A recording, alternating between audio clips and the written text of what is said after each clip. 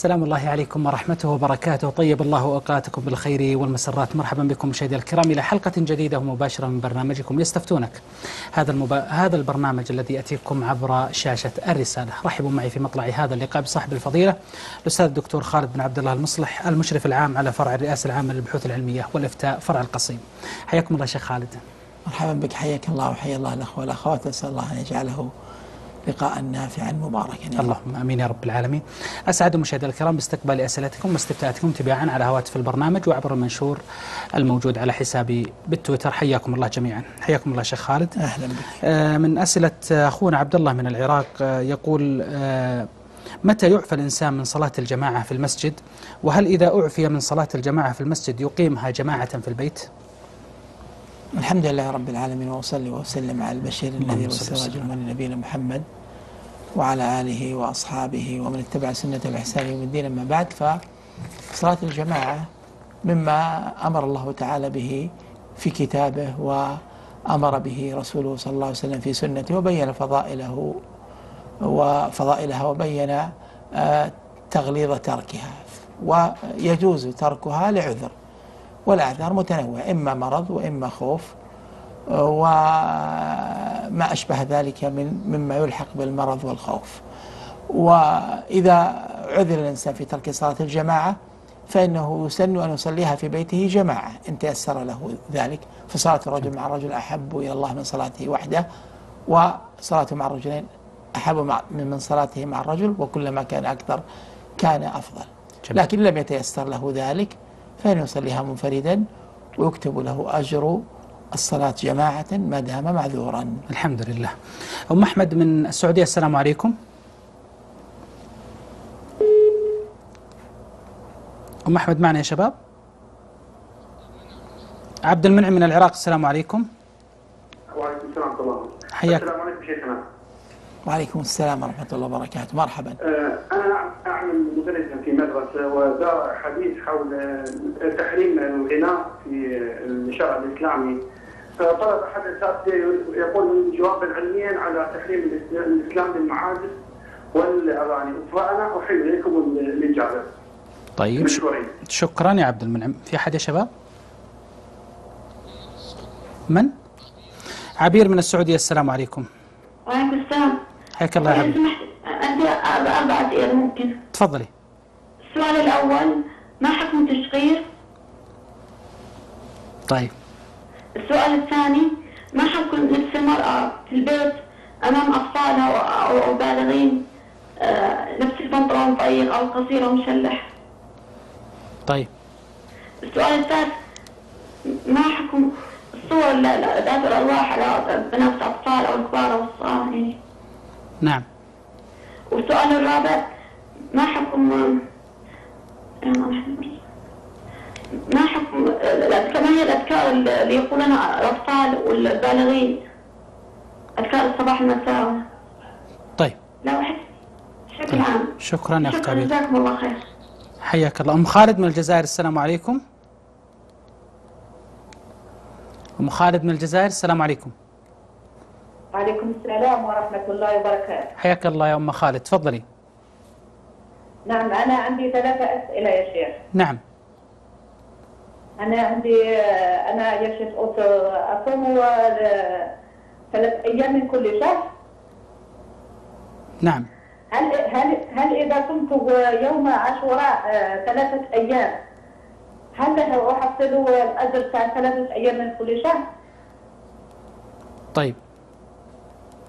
السؤال الثاني نعم. أنا أصل أنا أنا أصلي الضحى كل يوم هل إذا نسيتها مرة هل أقضيها؟ طيب. والسؤال الثالث؟ نعم. سؤال السؤال الثالث هل أنا عندما أصلي في الصلاة في التشهد الثالث؟ نعم. أحيانا عندما أقرأ سورة الفاتحة أقول بسم الله الرحمن الرحيم ناسية هل أسجد للسهو أم لا أسجد؟ طيب شكرا بارك الله أم عبد الرحمن من السعودية السلام عليكم ورحمة الله وبركاته السلام ورحمة الله وبركاته أيوه أنا عندي سؤال وابغى كمان الشيخ خالد يسمعني بهذا الفتوى. تفضل. أنا زوجي يشتغل طبيب في إحدى المستشفيات وفي عقد العمل هناك بند بحوالي خمسين ألف ريال تكاليف مدرسة لطفلين. تمام؟ البند هذا على المستشفى تكاليف مدرسة. إيه طيب ألو. تفضلي أيوه سواء كانوا الأطفال صغار أو كبار فأنا تكاليف آه، هذا المبلغ لا يعطى لزوجي نقدا وإنما يعطى لزوجي بصورة شيك بعد أن يحضر لهم آه، زوجي سند باسم الولدين من الإدارة المالية في المدرسة. طبعا تكاليف كل ولد حوالي 12000 ريال يعني الاثنين يبلغ المبلغ عن 24000 ريال. نعم. وهو المبلغ المقصود له آه، 50000 لكن إذا آه الآن في هذا العام التحق طفلنا الثالث فإذا زوجي أخذ ثلاثة أرصدة من المدرسة بأسماء الثلاثة الأولاد وتكاليفهم الثلاثة ستبلغ حوالي 36 ألف وهو أقل من المبلغ المرصود لهم لم. آه، المستشفى لم تدفع للطفل الثالث يعني المستشفى بتدفع حو... آه لطفلين مهما كان المبلغ المهم يكون 50 أو أقل آه، فالمدير المالي في المدرسة أقترح على زوجي قال له آه، إنه ممكن نحن نضيف الطفل الثالث المبلغ حقه نقسمه إلى سنة الطفلين فهل هذا يجوز؟ الطفل- يعني الطفل- ما يكتب له سنتين أم عبد الرحمن أم عبد الرحمن أيوة. الطفل الثالث ما يدرس ولا لا؟ الان الآن التحق هذا العام أها طيب. طيب. ما أسمع. خلاص واضح. واضح إن شاء الله. واضح إن شاء الله. فهو قال انه الطفل الثالث ال 12000 بيقسمها بيضيفها إلى سنة الطفلين الآخرين الأوليين. طيب. طيب شكرا لك يا أم عبد الرحمن. صالح من السعودية؟ السلام عليكم. السلام ورحمة الله. كيف حالك؟ بارك الله فيك؟ الله يحييك. آه، لو سمحت لك كنت متابع لكم والبارح كان في سؤال جالك من آه، احدى الزائرين سألك عن موضوع مهم جدا. نعم. كنت منتظره أنا ومجموعه آه، كبيرة لكن أنت الله يرضى عليك ما سالت الشيخ عنه طيب يعني آه، سألته عن أشياء ثانية الفقرة هذه ما سألته عنها نعم، تفضل. وهي إذا كان في واحد عنده أولاد أو اقاربه يبغى يصلي هو وياهم جماعة آه، الفجر هل يعتبر إذا آه، في ذمه الله ولا لا؟ عندما ما ما درس الشيخ نعم صح ولا لا؟ لا أنت السؤال ما كان بالطريقة هذه بارك الله فيك. الا يقول اذا عنده أولاد في البيت أي. هل يعتبر اذا صلوا في البيت؟ إذا صلوا؟ اي وما صلى في ما صلى في المسجد يعني. أي ما صلوا المسجد. أي، إيه. طيب، طيب. ولا لا؟ ما الشيخ طيب يا حبيبنا بارك الله فيك. أبشر إن شاء الله. أم ضياء من العراق السلام عليكم. السلام عليكم. وعليكم السلام ورحمة الله. شلونكم شيخ؟ حياك الله. إذا سمحت لي عندي سؤالين. نعم. السؤال الأول ابني استدار مني مبلغ من المال. اشترى بي بيت. وما يعني قال لي إيش وقت راح يسدد لي إياه. يعني إذا أجل غير مسمى أرجع لي إياه.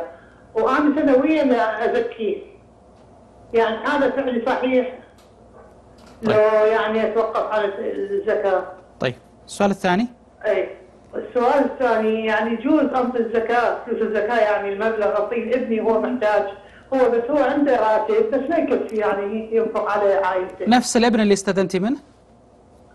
نعم. تعطين الزكاة لنفس الولد اللي استدنتي منه؟ إي إي نفس الولد إي نفس الولد. عنده عنده راتب هو. طيب. بس يعني راتب ما يوصل شهر ما يكفي. يستدين كل شهر. يعني إذا زكيت الفلوس يجوز انطي يعني هاي فلوس الزكاة له؟ طيب. طيب طيب. واضح. إيوه والله. شكرا شكرا. بارك الله فيك. معنا أحد يا شباب؟ طيب شكرا لكم جميعا. حياكم الله شيخنا. أخونا عبد المنعم من العراق يقول هو يعمل مدرس ودار بينه وبين بعض الزملاء آه، حديثا حول ال- ال- المعازف والغناء آه، فيقول يريد جوابا علميا عن هذا الأمر. فيما يتعلق بالمعازف وهي آه، الآلات التي يعزف بها على اختلاف ألوانها سواء ما كان منها قديما كالطبل والعود ونحو ذلك أو ما كان منها حديثا بصوره المعاصرة. هذه المسألة مما آه، تو تواردت كلمات العلماء رحمهم الله على القول بحرمة آه، آه، المعازف. ومن طالع كتب التفسير والحديث والفقه رأى ما يخرج به إلى غلبة الظن بأن التحريم هو القول السائد الذي آه، يغلب في كلام الفقهاء جميل. وهذا آه، لا يلغي خلافا في هذه المسألة فإن ثمة من ثمة طائفة من أهل العلم ذهبوا إلى الجواز ولكن آه، الكثرة الكاثرة في كلام العلماء من أهل التفسير والفقه والحديث على اختلاف العصور على أن المعازف محرمة. وقد حكى الإجماع على التحريم جماعة من العلماء من المفسرين القرطبي كذلك من المحدثين من الصلاح ومن المتفننين ابن تيمية ابن رجب وغيرهم من أهل العلم ذكروا الإجماع على التحريم. الحقيقة أنه الإجماع ليس سالما لوجود الخلاف في المسألة لكنه لما كان خلافا آه، يشبه أن يكون شاذا من حيث قلة القائل بالإباحة. آه، أصبح السائد في كلام هؤلاء القول بالإجماع على التحريم وبعضهم نظرا لإلغاء آه، الاعتبار لأقوال الظاهرية في الخلاف قالوا بالإجماع على التحريم. أما ما يتعلق بالأدلة فلا ريب أن الناظر في كلام العلماء يجد أنهم دللوا لذلك بأنواع عديدة من الأدلة من الكتاب ومن السنة. وكل هذه الأدلة قد يرد عليها نوع من المناقشة آه العلمية التي قد تضعف دليلا أو تقيم دليلا أو آه ترجح مدلولا على آخر في هذه النصوص إلا أن مجموع هذه النصوص المختلفة في الكتاب والسنة آه، تفضي إلى النتيجة التي ذهب إليها جماهير العلماء من آه، حرمة المعازف. وما يتعلق بسؤال الأخ عن جواب ينتظم هذه المسألة علميا فلا شك أن ذلك يحتاج إلى بسط في القول قد يستوعب أكثر من حلقة وليس صحيح. حلقة من حلقات صحيح. آه الإفتاء التي الغرض منها الجواب آه بما يقضي حاجة السائل دون إسهاب ولكن من أبرز ما استدل به القائلون بالتحريم ما ذكره الله تعالى في قوله في سورة لقمان ومن الناس من يشتري له الحديث ليضل عن سبيل الله بغير علم واتخذها هزوا أولئك لهم عذاب مهين طبعا الآية هذه آه، مستند آه، أو موضع الدلالة فيها هو قوله تعالى ومن الناس من يشتري لهو الحديث نعم. ففسر جماعة من أهل العلم منهم آه، حبر الأمة ترجمان القرآن ابن عباس وابن مسعود وغيرهما من الصحابة فسروا لهو الحديث بالمعازف نعم. وقد يرد على هذا التفسير آه، إيرادات ذكرها بعض المناقشين لدلالة الآية على التحريم لكن يعني بالنظر إلى آه، موضع استدلال الصحابة من الآية أولا أنهم أفقه الناس بكلام الله عز وجل وأنهم. أعلم آه، الأمة باللغة العربية لأنهم أصحاب اللسان وهم صحيح. الذين شهدوا التنزيل كل هذه المقومات في كلام الصحابة أو المقومات في آه، تفسيرهم تجعل قولهم أرجح من قول غيرهم. فقول بعض الناس أن هذه الآية لا تنطبق على المعازف بل هي وعيد على مجموع ما ذكر الله تعالى من المذكورات في قوله ومن الناس من يشتري له الحديث ليضل عن سبيل الله ويتخذها هزوا. فأولئك لهم عذاب مهين. فالعقوبة آه، ليست على الأفراد بل على المجموع. يقال إن أفراد المجموع يثبت فيها يثبت فيها التحريم أو الفضل العقوبة أو أو الأجر. فقوله تعالى آه، في هذه الآية ومن الناس من يشتري له الحديث وإن كان هذه العقوبة مرتبة على المجموع لكن تدل على أن الأفراد مما يستوجب عقوبة وإن لم تكن ب آه، ما يستوجبه جمع هذه الخصال المحرمة.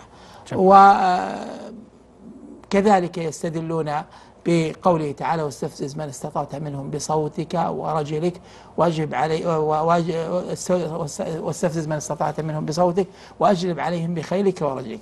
وموضع الشاهد في الآية قوله تعالى آه، صوتك. است- واستفزز آه، من استطعت منهم بصوتك. صوتك. واستفزز من استطعت منهم بصوتك قالوا صوته الشيطان هو الغناء والمعازف. وذكر أدلة أخرى غير هذا الدليل من القرآن وأما السنة فأبرز ما يكون من الأدلة ما ذكره البخاري تعليقا ووصله غيره ليكن من أمتي قوم يستحلون أو أقوام يستحلون الحرى والحرير والمعازف. طبعا هنا آه، قول يستحلون العقوبة مرتبة على الاستحلال فالاستحلال هو الذي يوجب هذه العقوبة لكن السماع دون استحلال لا يوجب هذه العقوبة.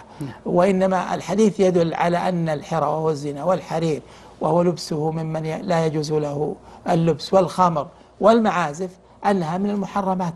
صحيح. لقوله يستحلون ولو كانت مباحة لما آه، وصفها آه، لما رتب هذه العقوبة على الاستحلال لأن استحلال الحلال لا يترتب عليه عقوبة. المقصود أن هذا أبرز ما ذكره العلماء في الاستدلال على التحريم وفي كل الأحوال آه، ينبغي للمؤمن أن آه، آه، لا يسرف حتى على القول بالإباحة لا يسرف في سماع المعازف فإن سماعها مما يصرف الإنسان عن الخير والهدى ويوقعه في الردى حتى لو كان الإنسان قد اعتاد مثلا بعض الأحيان وهذا الواقع صحيح. يعني من ال- الناس من يعني يرى أنه أو لا لا لا يهتم كثيرا بمسألة التحريم وال- والإباحة يعني ليست حاضرة في ذهنه وليس غفلا غفلة عنه لكن اعتاد هذا وأصبح شيئا يعني في في في في المنتديات وفي المجامع وفي آه، وسائل الإعلام وفي مواقع كثيرة. فما تت- ال- ال- ال- التحرز من من من هذا الإشكال. أقول ينبغي التفريق اولا بين السماع والاستماع. ما يصل إلى أذن الإنسان من غير قصد ولا إرادة إنما ليكون مثلا في طريق أو ليكون في مج- مجمع في صحيح. هذا الصوت أو في مطعم فتحوا هذا آه، الصوت و و و و وما إلى ذلك من الأماكن فلا حرج عليه هذا سماع وليس استماعا جميل. إذا كان محتاجا إلى أن يغشى هذه الأماكن آه، ال- أحيانا في التلفونات يعني في صحيح. في في, في نغمات الرد تسمع هذا وأنت محتاج إلى أن تنصت حتى ترد على المجيب هذا آه، سماع وليس استماعا فلا حرج فيه جميل. آه، وما كان منها آه، من هذا السماع ناشئا عن إلف وعادة نقول لإخواننا تخففوا ما استطعتم وإن إن إن تمكنتم من الترك الكلي فهذا هو المطلوب وذلك أن هذه الم- المسامع إذا وردت على الإذن استعذبتها وصرفتها عن آه، سماع الخير والهدى والحق كما أن لها تأثيرا على القلوب والقلوب سريعة التأثر بما يصل إليها عبر السمع والبصر. والإنسان آه، أغلى ما يملك ويحرص على آه، حفظه قلبه ذاك أنه بصلاحه يصلح سائر حاله بصلاحه يبلغ الهدى والسعادة في الدنيا. والآخرة أسأل الله أن يوفقنا وإياكم. للخير والبر والتقوى. ولكن آه، أحب أن أنبه إلى أنه آه، يعني آه، لا تستطيع أن تلغي خلافا في هذه المسألة. ولا تستطيع أن تهمش القول بالتحريم لكثرة من يقول به. فينبغي الرفق في تناول هذه المسألة لأنه بعض الناس يأتي ويعني يعرض المسألة عرضا يلغي فيها الخلاف بالكلية. وهذا وإن كان قال به بعض أهل العلم لحكاية الإجماع لكن في الواقع ثمة خلاف. الأمر الثاني هناك من يحطم هذا القول وأن هذا القول آه، ليس له أصل ولا له آه، مستند وأن القائل به لا حجة له. طيب يا أخي وهالعالم ال- الذين آه، يعدون أعلام الأمة وأعيان علمائها عبر العصور صحيح. وعلى اختلاف المذاهب؟ لا يمكن أن يهمش قولهم. باستنتاج يعني آه، توصلت إليه باجتهادك فينبغي الرفق في تناول مثل هذه المسائل وتقدير أن عموم البلوى لها تأثير صحيح. في هذه القضية آه، أسأل الله أن يشرح صدورنا آمين. الحق والهدى آمين. وأن يطيب مسامعنا اللهم وأن آمين. يحفظ قلوبنا عما يفسدها وأن يعمرها بما يحييها وينيرها اللهم آمين الله يعطيك العافية شيخ على هالإيضاح الجميل الطيب المبارك آه، اختنا عبير من السعودية آه، سألت سؤال وأنا أضم أيضا مع سؤال من أيضا من المغرب. الضابط يا شيخنا في اللبس ال- ال- الأم أو البنت أو الأخت آه، أمام آه، أقاربها في البيت سواء كان أخوان أو أخوال أو أقارب أو محارم هو الأصل في هذا أن تلبس ما جرت العادة بلبسه مما لا فتنة فيه. جميل. لأنه ليس ثمة معيار آه، غير هذا في ضبط ما تلبسه المرأة أمام محارمها لأن المقصود باللبس باللبس الس- الستر. صحيح. وأما إبداء الزينة فيجوز آه، إبداء الزينة بما لا يوقع في فتنة. جميل. لأن الله تعالى يقول ولا يبدين زينتهن إلا لبعولتهن أو آبائهن أو أبناء إيه، بعولتهن أو آباء بعولتهن أو أبنائهن أو أبناء بعولتهن أو إخوانهن أو بني إخوانهن. إلى آخر ما ذكر الله تعالى في الآية. آه، فهذا إبداء الزينة المعتادة المألوفة وليست الزينة الخاصة لا سيما في غير الزوج. الزوج تبدي ما شاءت له من الزينة لكن ما عدا الزوج لا يبدأ له إلا ما آه، لا فتنة في إبدائه. و- وبالتالي كل ما هو مما يوقع في فتنة ومن ذلك مثلا لبس ما يبدي المفاتن. ويظهر آه، آه، حجم ال- ال- البدن من صدر أو آه، أرداف أو بطن أو خصر أو ما أشبه ذلك على نحو يحصل به الفتنة. هذا مما ينبغي تجنبه. وهذا لا يلبس إلا ل- لمن لا تحصل الفتنة بلبسه عنده أو ما لا بأس بإظهار الزينة له في مثل هذه الأمور كالزوج مثلا. جميل. فإذا استحضرنا هذا المعنى العام فيما يتعلق بلباس المرأة طبعا تعرف أن الأقارب أيضا ليسوا على درجة واحدة من تراه في السنة مرة واحدة ليس كمن تراه. بكرة وأصيلا.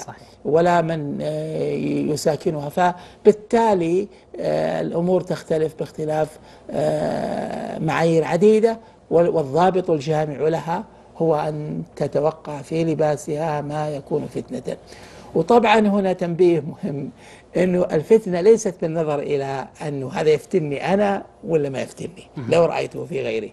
إنما يعني بالنسبة لل- لللابس من نعم. من من من ذكور وإناث. لأنه حتى الذكور ينبغي أن أن أن يراعوا في اللباس ما آه، لا يكون فتنة. آه، ليس العبرة في ذلك ما يتصل بشخصه.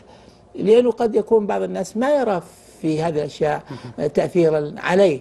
لكن بال- بالنظر المعتاد المتوسط جميل. طبعا هناك من يعني يفتن بكل بكل بارقة صحيح. وهناك من هو ميت لا يفتنه شيء. آه شيء وبالتالي هذا وذاك خارجين من الحساب جميل. إنما المعيار هو لمجموع حال الناس ومتوسط أحوالهم هو الذي ينظر إليه ويعتبر أسأل الله أن يصوننا وإياكم من كل شيء. شر وأن يجملنا بأبهى لباس وهو لباس التقوى.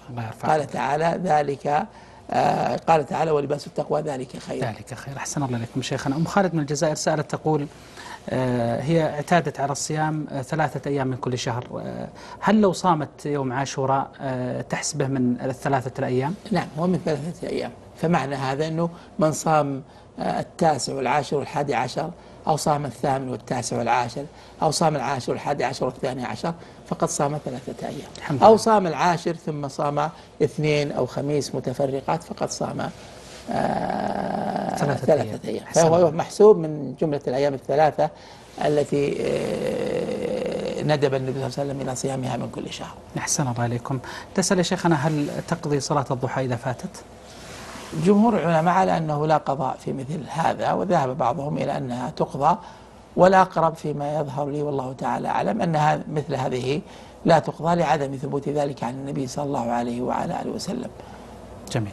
آه، أم عبد الرحمن آه، سألت من السعودية في سؤال طويل لكن لعل الذي فهمت من السؤال يا شيخنا أنه آه، يعني هناك مخصصات مالية. أيوة أنا أقول مثل هذا ترجع إلى صاحب الصلاحية. جميل. بمعنى أنه إذا صاحب الصلاحية قال افعل كذا وكذا هو المسؤول وهو الذي له الصلاحية في ترتيب الأمر. أحسن الله عليكم. هذا من ليبيا. سأل يقول شيخ خالد السلام عليكم ورحمة الله. كيف أتعامل هذه أم أم سامح؟ كيف أتعامل مع ولدي؟ تساوره بعض الشكوك والتساؤلات في الأمور العقيدة وأمور الخلق. تقول هل أخبر والده بهذا؟ لأني أنا أخبرت والده سيحصل إشكال كبير جدا. كيف أجيب على هذه التساؤلات التي حين لا أعرفها؟ طيب التساؤلات هذه قد تكون بسبب وساوس وقد تكون بسبب إشكاليات واردة بسماع ما يثير الشك. أو بقراءة ما يثير الشك وبين هذين النوعين من المسائل فرق في التعامل ما كان منشأه الوساوس والهواجس الشيطانية التي يقذفها الشيطان ويتسلط بها على الإنسان هذه معالجتها يعني ابتداء بالجواب عنها ثم بطلب العلاج فيما إذا كان الإنسان أصيب بما يسكنه من وساوس تقوده إلى هذه الشكوك. من الضروري المبادرة للعلاج لأن التمادي في في هذا الأمر يوقعه في فيما لا تحمد عقباه في دينه وفي حياته وفي معاشه وفي راحته وطمأنينته. أما ما كان منه ناشئا عن شك وارد وليس وسواس سواء كان الشك ذاتيا أو كان له باعث من ممن يثير الشك قراءة بقراءة أو بسماع أو نحو ذلك فهذا أرى أنه لا بد من الإجابة عليه لأن الله جل وعلا أقام الحجج العقلية في إبطال الشبه الواردة على قلوب الناس. والله تعالى يقول فاسألوا أهل الذكر إن كنتم لا تعلمون. وأما موضوع هل تخبر والده وأن الإخبار سيترتب عليه مفسدة كبيرة هذا في الحقيقة خطأ في التعامل. يعني ينبغي أن يفهم, يفهم الوالد. ما ذكرت من أن أن هذه الوساوس بواعثها مختلفة. فإن كانت بواعثها مرضية يجب المبادرة إلى العلاج والتعاون ولا تقابل بغضب ولا بثورة ثورة وغيظ وأما إذا كان باعثها شكوك وتشكيك فهنا يجاب عليها ويترفق به لإنقاذه من أن تستحوذ عليه هذه الشكوك أو أن يستحوذ عليه هؤلاء المشككون. لأن فشل الوالد أو الوالدة في الإجابة على سؤال قد يجعل هذا يتضخم عنده حتى صحيح. يشك فيما لا شك فيه. وهذا يقع أحيانا. صحيح. وهو من خطوات الشيطان التي يستدرج بها كثيرا من الذين يخالطون المشككين. فتجد عندما يعجز عن جواب في مسألة واحدة يعود الشك على كل القضية برمتها وهذا غلط كوني لم أوفق على الجواب أو لم آتي بجواب مسدد في قضية من القضايا لا يعني أن جميع القضية القضايا التي تطرحها مسلمة ينبغي الفرز والتمييز. أحسن الله إليكم شيخنا. أم ناصر من الجزائر السلام عليكم. وعليكم السلام ورحمة الله وبركاته. حياك يا شيخ أريد أن أسأل عن حكم تسمية أم ناصر نعم حكم ماذا؟ حكم حكم تسمية بأم ناصر الكنية الكنية بأم ناصر إيه. وأريد أن أسأل عن أريد الشيخ أن يفسر حقوق الزوجة بعد الطلاق. في طلقها الزوج شنو حقوقها اللي عند الزوج. طيب. شكرا يا أريد ناصر. رقم الشيخ الشخصي لأني عندي مسألة خاصة أريد أن أسأله فيها طيب خيرا إن شاء الله. أم عبد الله من السعودية بارك الله فيك. السلام عليكم. أم عبد الله؟ لو سمحت. أيوه السلام عليكم ورحمة الله وبركاته. حياك الله تفضلي. لو سمحت يا أبوي عندي سؤالين نعم. السؤال الأول بالنسبة للعده أختي في الحداد توفي عنها زوجها يوم 3 رمضان وكل ونحسب لها من كل شهر من الرابع يوم من كل شهر. وعدتها تخلص في في 14 محرم. لكن في هناك من يقول لازم تكمل الشهرين اللي تجي 29 ما أدري عن صحة الكلام هل هو صحيح أم أن فيه شيء؟ طيب. والسؤال الثاني آه، بالنسبة لصلاة آه، صلاة الفجر آه، السنة آه، هل أدعي فيها دعاء؟ لأن سمعت أنها تكون خفيفة فهل أدعي في السجود أم بس أكتفي على سبحان ربي الأعلى؟ طيب. شكرا بارك الله فيكم جميعا. شكرا يا أم ناصر حليمة من تشاد السلام عليكم. وعليكم السلام ورحمة الله. حياك الله تفضلي. عندي أربع أسئلة. تفضلي. السؤال الأول السر السر في الصلاة. هل يقرأ في الصدر؟ أعيدي يا أخت حليمة. نعم السر. قراءة السر في الصلاة. صلاة السر. هل يقرأ في الصدر؟ طيب السؤال الثاني. نعم السؤال الثاني. ما حكم صلاة المرأة التي تحمل مثلها في ظهرها وتصلي؟ طيب السؤال الثالث السؤال الثالث إذا أخطأ الإنسان في استقبال القبلة ونبأه أحد هل يسلم ويلتفت إلى القبلة ويكبر ثاني أو يلتفت بدون تسليم ويكبر ثاني؟ طيب السؤال الرابع السؤال الرابع التشهد. هنا أنا عندي من التشهد يقول التحيات لله الزاكيات لله الطيبات الصلوات لله إلى نهاية. هل هو جائز؟ طيب. شكرا يا أخت حليمة. بارك الله فيك. مستورة من السعودية. السلام عليكم. السلام عليكم. عليكم أنا السلام. عندي سؤال. أنا سألت الشيخ قبل كده. نعم. أنا سألت الشيخ قبل كده بس ما وضحت له الكلام سؤالك ما هو يا أخت مستورة؟ سؤالي تفضلي. أنا أبويا ما كتب لنا شيء. كل شيء يعطى إخواني باسم إخواني وأبويا مات له سنين ميت بس الميراث زي ما هو بسوي إخواني. من حقي أطالب. أخو أنا الشيخ جاوبني بس على قد سؤالي. طيب أظنها أنا- كانت أظنها كانت يعني إجابة واضحة إن شاء الله لكن إن شاء الله تسمعين إجابة الشيخ أيوه بس. أبويا مات أنا الشيخ طيب. أنا أبويا حي. طيب ابشر إن شاء الله. شكرا. معنا حد يا شباب؟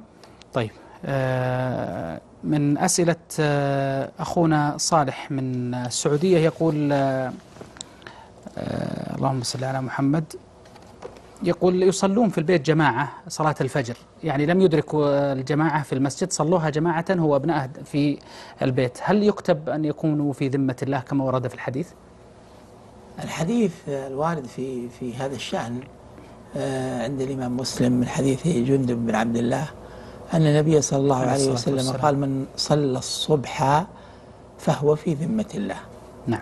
من صلى الصبح ولم يذكر جماعة أو انفرادا ولم يذكر في مسجد أو في غير مسجد. وبالتالي آه، هذه الفضيلة المذكورة في هذا الحديث هي لمن صلى الفجر في وقته. سواء كان ذلك في الجماعة أو كان ذلك في البيوت سواء كان ذلك للرجال أو للنساء أو لكل من صلى ممن هو آه، الصلاة تلزمه أو الصلاة في حقه نافلة كالصغار.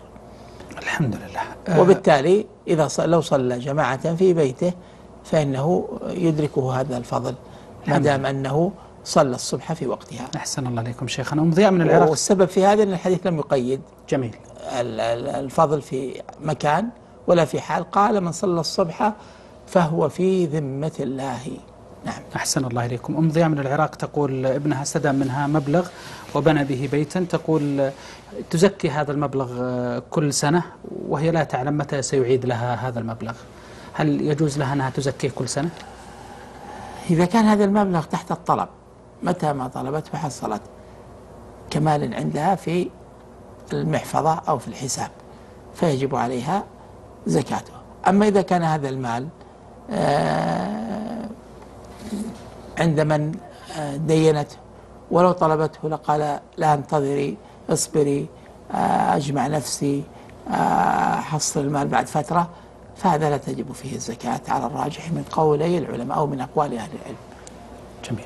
آه، أيضا تسأل يا شيخنا تقول آه، هي الآن ستخرج هذه الزكاة هل يجوز أن تعطي هذا الولد الفقير مرة أخرى؟ نعم. الحمد ما لم تكن نفقته واجبة عليها. أما إذا كانت النفقة ليست واجبة عليها فلا يجوز.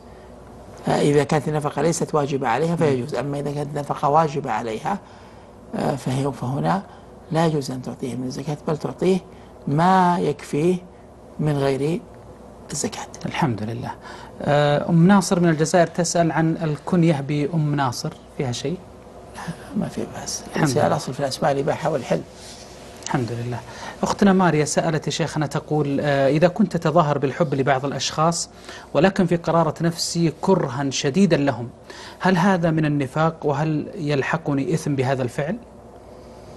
لا إذا كان هذا لدفع شر أو يعني تحصيل مصلحة آه، وليس فيه أذى لا بأس بهذا.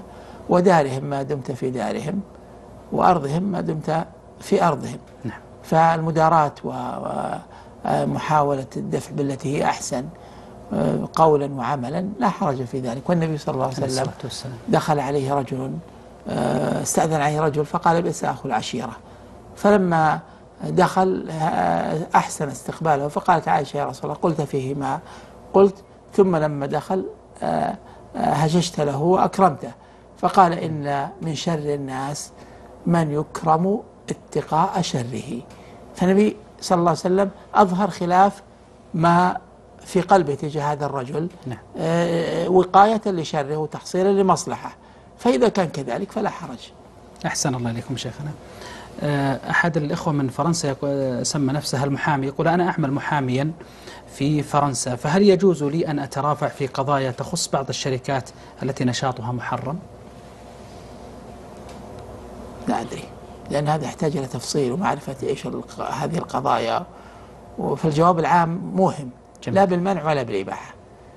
يعني لا لا, لا بالقول بعدم الجواز ولا بالقول بالجواز. فلذلك يسأل عن القضايا آه، على وجه الانفراد أما إذا كان يترافع بباطل فلا يجوز ولا تكن آه، و- قال تعالى آه، ولا تكن لل- للخائنين خصيمة أي مخاصما مدافعا. جميل. آه، والخائن هو كل من جحد حقا أو منع آه، ما يجب عليه. أحسن الله عليكم أه تقول آه، إحدى الأخوات السلام عليكم. أريد أن أسأل الشيخ خالد بأن هناك بعض الأشخاص أه أه أجبنا على هذا السؤال. آه، يقول في قضايا قضاء الصلوات التي فاتت أنا مر علي أربعة أيام.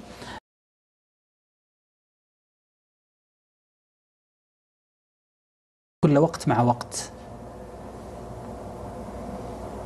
آه يعني في القضاء. نعم في القضاء. في القضاء يصليها مرتبة فمثلا عليه قضاء يوم يصلي الفجر والظهر والعصر والمغرب والعشاء متتابعة. ما أمكنه إلى ذلك. فإذا كثرت المقضيات بحيث أنه يعجز عن أن يأتي بها جميعا في وقت واحد لو وزعها لا بأس. جميل. لكن ما دام يستطيع أن يأتي بها في وقت واحد فالواجب عليه أن يأتي بها متتابعة. ولا يحتاج إلى أن ينتظر إلى غد ويصلي الفجر مع الفجر أو العصر هذا لا يصلح. بل يأتي بها متتابعة وفق استطاعته. أحسن الله إليك. أم عبد الله من السعودية سألت سؤال مهم يا شيخنا ويشكل على بعض الأخوات آه، آه، في مسألة الحداد. هل آه، الأشهر آه، لابد أن تكمل 30 يوم أو أن تأخذ بالعدد آه، 29 يوم؟ لا بالعدد المعتبر آه، شهريا. جميل. فإن نقص الشهر فهو المطلوب لأن الله عز وجل يقول ويقول والذين والذين يتوفون منكم ويذرون أزواجا يتربصن بأنفسهن أربعة أشهر. أربعة أشهر وعشرة. فالمطلوب في الأشهر هو آه، الأشهر بواقعها. تمت أو نقصت. فلا تكمل ما نقص من الأشهر. ولو نقصت الأشهر الأربع جميعا فإن فإن لا تحتاج إلى أن تزيد أربعة عشر يوم آه، على الأربعة أشهر بل تكتفي بالأربعة أشهر وعشرة أيام. الحمد لله. حليمة من شاد يا شيخنا سألت عن صلاة السر. هل المقصود بها هو ال- الأخفات بحيث أنه يعني آه، لا يحرك بها الشفتين؟ لا لا يصلح آه، في صلاة آه، السرية أن يطبق شفتيه بل لابد من تحريك لسانه بما يقرأ لأن القراءة لا تكون إلا بتحريك اللسان. نعم. لا بد من تحريك اللسان. فمن قال الله أكبر. وأجال في خاطره وذهنه. قراءة الفاتحة ما ما نفعه. هذه ليست قراءة. القراءة لابد أن يقرأ آه، منهم من يشترط أن يسمع نفسه ومنهم من لا يشترط ذلك والصواب أنه لا يشترط أن يسمع نفسه. فيقول الله أكبر. أحسن الله عليكم شيخنا. محمد من المغرب السلام عليكم. و- ويتم القراءة. أحسن الله عليكم. عليكم السلام ورحمة الله. حياك الله محمد. تفضل. حياكم الله حياكم الله. حياك الله فضيلة الشيخ. مراحب. هلا وسهلا. عندي ثلاث أسئلة. نعم. آه، السؤال الأول آه، يقع لنا بعض الأمور آه، ولكن ما ما يمكن ما يمكن أن نصنفها مثلا نصلي العشاء. آه، فبعد العشاء آه، نأتي مثلا إلى التلفاز نقوم بتشغيل القرآن الكريم أو محاضرة دينيه أو تصفح كتاب. فهل هذا حتى منتصف الليل عادي بديهيا هل هذا يمكن أن ننويه من قيام الليل؟ هل هذا من قيام الليل؟ آه، هل يمكن أن نعد- نعده من قيام الليل؟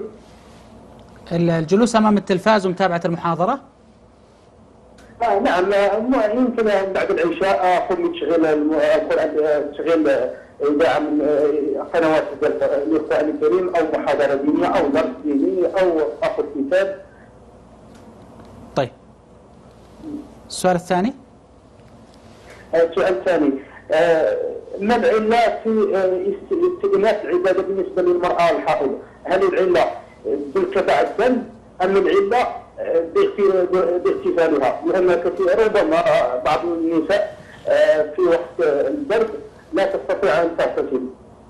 ونحن ينقطع الدم في وقت مثلا في أداء الصلاة مثلا بين الظهر أو العصر.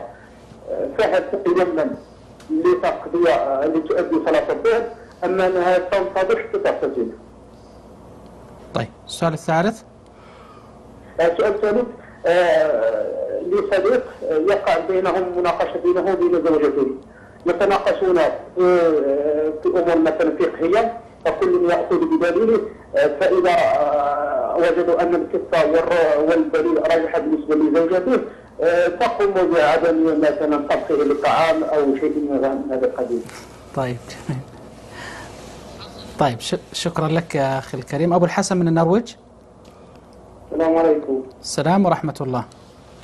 أخي أنا في عندي سؤال بسيط. تفضل. آه، في إحنا عندنا هنا في في أوروبا أو في النرويج خاصة ال- الشاب لما يصير عمره 18 سنة بده يطلع من بيته ياخذ بيت لحاله. أنا في عندي بيت وبيتي أكثر من غرفة فبيجوا أصدقائي لما اولادهم يصيروا فوق ال 18 بيطلبوا مني أعطيهم عقد ايجار إنه إبنهم ساكن عندي وهو ما ساكن. بس بطلب مني إنه أكتب له عقد ابنه ساكن وإنه بدفع لي مبلغ معين مشان يأخذوا مساعدة من الدولة، هل في حرام علي أنا إني أعطيهم عقد من النوع؟ واضح يا شيخ؟ اي نعم واضح. طيب شكرا لك. شكرا لك يا أبا الحسن. بارك الله فيك. من آه، أسئلة آه، أختنا صفية من الجزائر آه، تقول لديها ابن بلغ سن الزواج وفي كل مرة يحاول أن يتزوج يعني يحصل له مشكلة. تقول هل في هذه الحالة نرقيه؟ تنفع معه الرقية؟ تقول ذكرت أن المحاولات أكثر من عشر محاولات.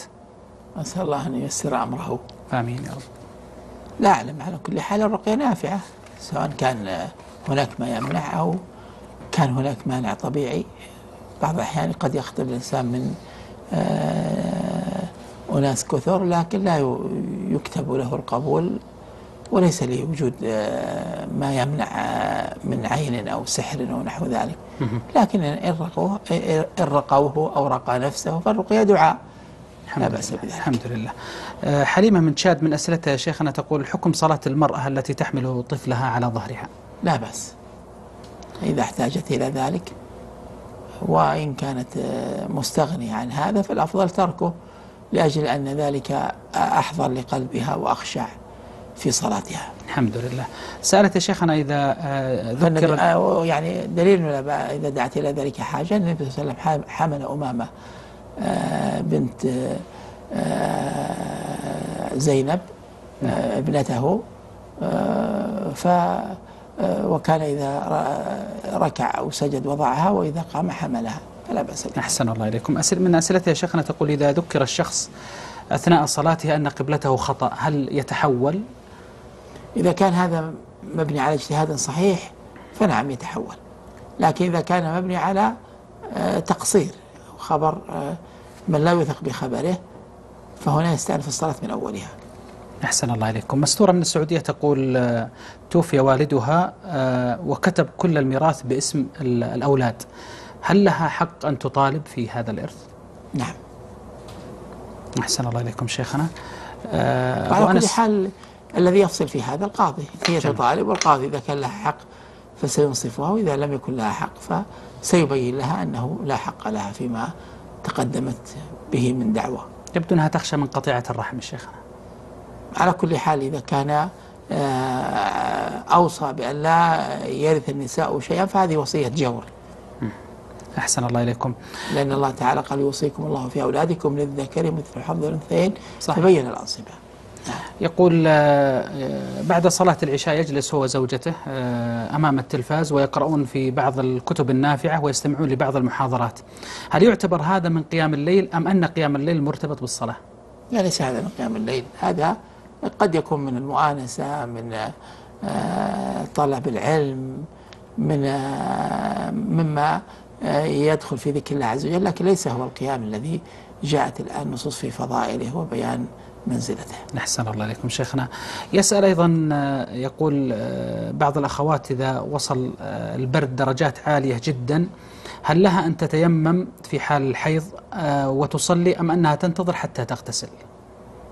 إذا كان غسلها آه، آه، غير ممكن أو تخشى منه تخشى على نفسها مرضا أو نحو ذلك فإنها إلى التيمم لكن إذا كان يمكنها أن تسخر الماء وتغتسل الغسل الواجب عليها فهذا هو الواجب في حقها. أحسن الله إليكم. أبو الحسن من النرويج سمعتم سؤاله يا شيخنا يقول آه، عندما يبلغ الشاب عمر 18 سنة يخرج من البيت بعض أبناء أصدقائه يطلبون منه العقد من أجل أن يكتب أنه موجود في البيت وهو ليس موجود. شوف يا أخي إذا أجره تأجيرا حقيقيا ومكنه من المجيء متى ما شاء فلا بأس بذلك. أما إذا كان تأجيرا صوريا بمعنى أنه لو طرق على الباب قال لا تدخل ليس لك مكان هنا. وإنما كتب هذا لأجل أن ينتفع من آه، ما ما يعطاه آه، من من من الجهات ال- المانحة ل- للأجرة فهذا لا يجوز لأن هذا نوع من الغش. أحسن الله إليكم. أخونا إبراهيم من السعودية سأل شيخنا يقول في إحدى الشركات لديها مسابقة.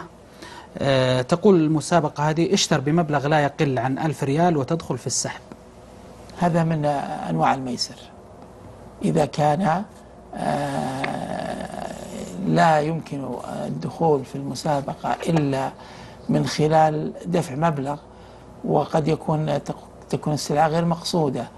يعني آه، أو تكون آه، ليست بهذا الثمن أو تكون وسيلة لادخال الناس في المسابقات. فهذه في كل هذه الصور يكون هذا النوع من الميسر أما إذا كانت السلعة حقيقية ومقصودة والمشتري أرادها آه، ومنح آه، حق الدخول في آه، مسابقة أو في سحب إذا اشترى فلا بأس بذلك. فيفرق بين صورتين. من العلماء من لا يفرق بين الصور يقول الجميع محرم لأن هذا فيه دفع مال لأجل آه، شراء هذه السلعة ولأجل الدخول في آه، المسابقة. المسا- السحب. ومن أهل العلم من يقول يفرق بين المقاصد بالنسبة لل- للمشتري. إذا كان يقصد السلعة ذاتها وأعطي حق الدخول في السحب فلا بأس بالدخول. إذا كان لا يقصد السلعة إنما يقصد الدخول في السحب فهذا لا يجوز. أحسن الله إليكم شيخنا. تقول أم عبد العزيز هل يجوز للمرأة أن تبحث لها عن رجل صالح وتتواصل معه ليتقدم لخطبتها إذا كانت تعيش ظروف صعبة عند أهلها؟ يعني تتواصل معه هذه كلمة واسعة ما معنى التواصل؟ أن تقول أنا أرغب في الزواج فلا بأس إبداء الرغبة لا بأس به. أما التواصل بمعنى الأخذ والعطاء وما أشبه ذلك مما يمكن أن يكون من موارد آه، ال- الفتنة آه، والوقوع في الخطأ فهذا لا يجوز. أحسن الله إليكم. تقول أم خالد آه، أقوم بتصوير بعض الأطفال ثم أضع على وجوههم ما يسمى بالفيسات وهي تغير في أشكال الوجه. ما حكم ذلك؟ كيف يعني؟ يعني تصور عن طريق السناب شات آه، هذه الصورة وهذه ال- ال- الفيسات تغير شكل الوجه. والله شوف أنا رأيت شيء إن كان هو غير مقصود بالسؤال فأنا أرى أن هذا من مما لا يجوز. هذه الصورة التي يجعل لل- لل- للآدمي أذان آه، أذان صح. كلب أو صحيح. أنف. هذه هذا ما يجوز. إذا كان نهي عن التشبه بالغراب وبالكلب. فلا يفترش افتراش السبع ولا ينقر آه، نقر الغراب. وما كل ال- الأحاديث وردت بالنهي عن التشبه بالناقص. فكيف يصور نفسه صورة كلب أو صورة آه، حيوان؟ الله تعالى يقول ولقد كرمنا بني آدم وحملناهم في البر والبحر وفضلناهم على كثير ممن خلقنا تفضيلا. أحسن الله إليكم. شيخنا تقول أم خالد ما حكم كتابة الرقية الشرعية والخياطة عليها وضعها داخل وسادة المريض؟ لا يصلح. هذا من الحجب. ولا- وقد قال النبي صلى الله عليه وسلم إن الرقائق إن إن الرقى والتمائم والتولة شرك. ولا يفرق في ذلك بين التمائم التي من القرآن والتمائم التي من غيره. آه، أخونا فايز. في هذا امتهان. جميل. كل يتوسد كلام الله أو أدعية إيه، فيها ذكر الله هذا لا يصلح. أحسن الله إليكم شيخنا. يقول فايز ما صحة حديث أصحابك النجوم بأيهم اقتديت بأيهم اقتديت اهتديت؟ ضعيف. آه، باسل وهم كالأقمار رضي الله تعالى عنهم وأرضاهم. يقول باسل المعنى صحيح لكن الإسناد ضعيف والاقتداء بما اجتمعوا عليه وبما وبما دلت عليه الأدلة. وهم محل قدوة وأسوة رضي الله تعالى عنهم. أحسن الله إليكم. أخونا فايز يقول بعض الأشخاص يقول بإرسال آه، من الزملاء. بعض الأشخاص من الزملاء يقوم بإرسال رسائل لي فيها محرمات وأنا آه، لا أعرف كيف أنصحهم. فهل في هذه الحالة أحذفهم؟ والله يا أخي أنت أخبر بنفسك. إن كان قطع شرهم لا يكون إلا بحذفهم أحذفهم. وإن كان وإن كان في حذفهم مفسدة أكبر فناصحهم. وفي كل الأحوال أرى أن تناصح آه، من يرسل إليك مقاطع آه، رديئة أو كلام خبيث أو ما ينقص به دينك أو ما يحصل به فساد ناصح ابتداء. آه، وحتى لو قررت حذفه أو حجبه فناصح لعل النصيحة تقع موقع القبول. الحمد لله. من ليبيا لعله السؤال الأخير يقول ما حكم رد السلام على غير المسلمين حيث أعمل في شركة فيها عدد كبير من غير المسلمين يبادرونني بالسلام عليكم. إذا سال إذا كان سلاما واضحا فرد عليهم ما سل ما ما حيوك به لقول الله تعالى وإذا حييتم بتحية فحيوا بأحسن منها أو ردوها. أحسن الله إليكم يا شيخ خالد وشكر لكم على المشاركة معنا في هذه الحلقة بارك الله المميزة فيك الله يحفظك يبارك فيك. أهلا وسهلا وأسأل الله لي ولكم السداد في القول والعمل والصلاح في السر والعلن. اللهم آمين. شكرا لكم مشاهدي الكرام على طيب المتابعة معنا في هذه الحلقة الطيبة المباركة. كان ضيفي وضيفكم صاحب الفضيلة الأستاذ الدكتور خالد بن عبد الله المصلح المشرف العام على فرع الرئاسة العامة للبحوث العلمية والإفتاء.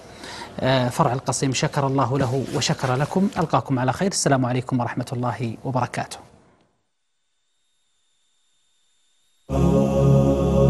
سل العلماء